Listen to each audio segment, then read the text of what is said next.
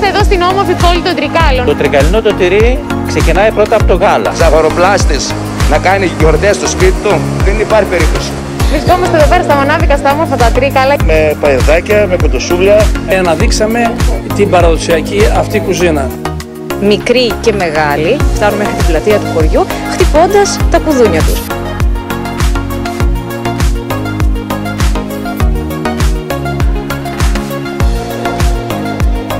Second time being here. Yeah. I'm from Roma.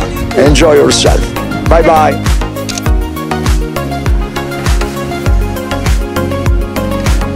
Θεσσαλία και γενικότερα η περιοχή των Μετεώρων είναι μια περιοχή η οποία ενδείκνυται 12 μήνες το χρόνο. Είναι ένας τουριστικός προορισμός, ε, κάθε εποχή διαφορετικός, που μπορείς να κάνεις από πολιτιστικό, γαστρονομικό, όλες τις μορφές θεματικού τουρισμού, τις εναλλακτικές μορφές και τουρισμού περιπέτειας. Έχουμε φτιάξει ένα σύγχρονο ημοποιό. Φτιάχνουν τον παραδοσιακό τραχανά. Έχει ήδη αρχίσει ο χειμερινός τουρισμός και είμαστε πάρα πολύ ευχαριστημένοι.